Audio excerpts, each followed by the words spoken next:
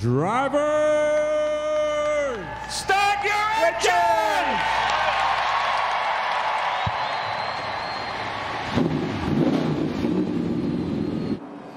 Field addresses itself to the starting line.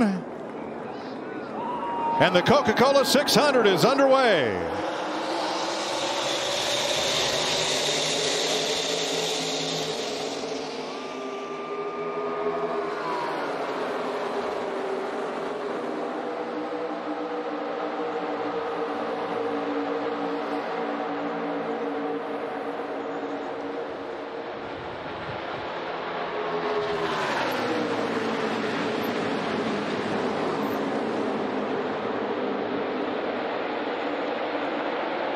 Kyle Larson and Chase Elliott took off in one and two, but Stenhouse comes pounding back to battle for left. The yellow dot is the car that we're riding with. The white dot is the race leader.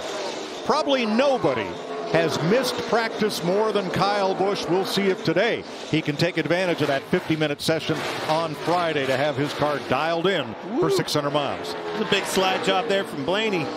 He had to lift out of the gas, and now they both got around. Look at Kyle Busch thread the needle right there, Jeff. I'm telling you. That was a good move. I like that. Can That you was- tell? I think Kyle Busch liked it as much as you did. Here's another look at it. Well, these two have been battling it out. You see Ryan Blaney trying to side draft, get ahead of the 42, which he does a good job of, but the front end, I think, took off on him. He went up the racetrack. Had to bail out of the gas, and it opened this opportunity up. 42. How about Thought that? he was going to have the help from 18. Nah, nah. He used it, side drafted off of him. Way he goes. There you. So, what did Ryan Blaney and company have to say about that? If you don't realize it's a 600 mile race. By five in front. I, I think he's referencing Kyle Busch because how close he was to that, you know, to, to that front fender as he made that move.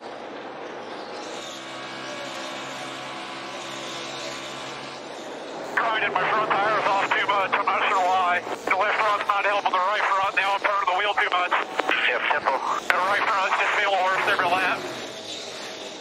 you know, you depend so much.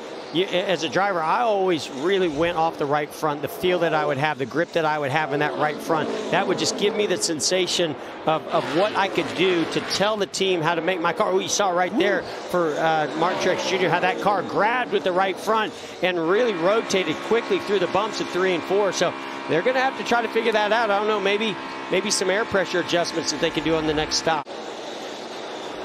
Green and white checkered flag is out to signal the end of stage one.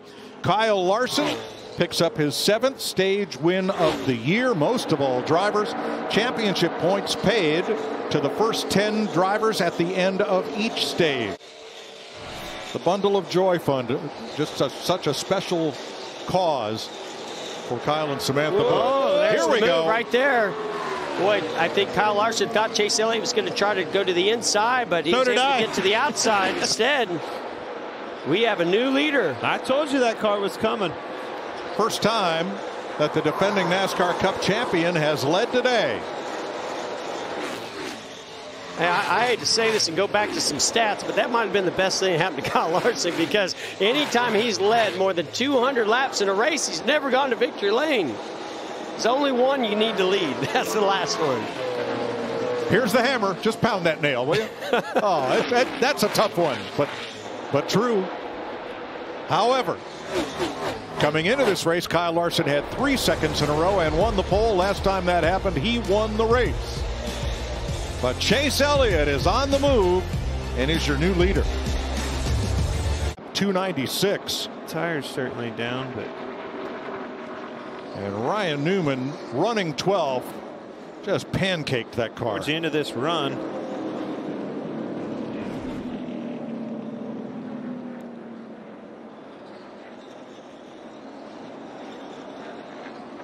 Ooh. Oh, you can see right there. Oh, I just gave up. That right front went tire. down. Right there at the end of the run. Be interesting to see what happens here, by the way.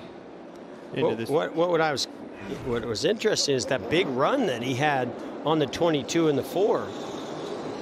I'm So this is uh, this is probably going to end this stage under caution. All right, coming to the Trilogy front stretch for this restart. 94 laps to go at the line.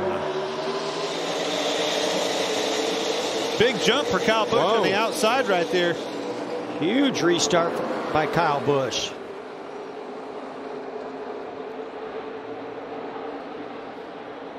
Oh, Brad K Yeah. backing up in the middle. Reddick, Keselowski, and Blaney staying out on the racetrack. Incredible battle going on right here, guys. 24 of William Byron. We saw. Look out! Man, these slower Man, cars are really costing a lot of these guys. Here comes Chase Elliott into this. So William Byron was already on the track. He's short pitted, right? And he had a run. Got to the outside of the 18, went three wide through three and four through traffic. That was extremely close. And now Chase Elliott able to make that move on William Byron. Man, these slower cars, I, I just wish there was something more that they could do. There's a heck of a race going on here. Well, that those- wasn't just a little bit slower either. that- like but they're 30 right, mile an hour right faster. in that preferred lane. Here comes Chase Elliott. Chase Elliott coming back after Kyle Busch for fifth place. Wow, huge move right there. Well, that nine is hooked.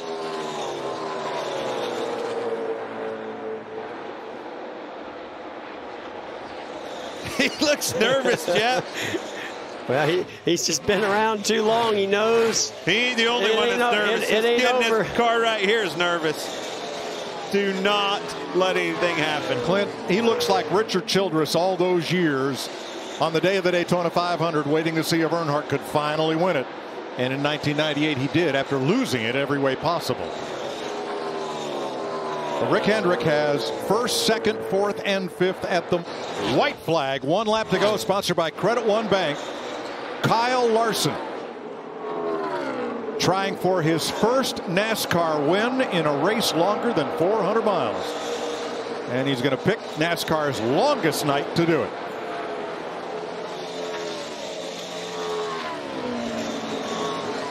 And what a weird situation to get it done, right? With those three second places back in 2017, a pole, and then go ahead and win the race. To do it again right here, 2021. Kyle Larson wins the Coca-Cola 600. Rick Hendrick, career win 269.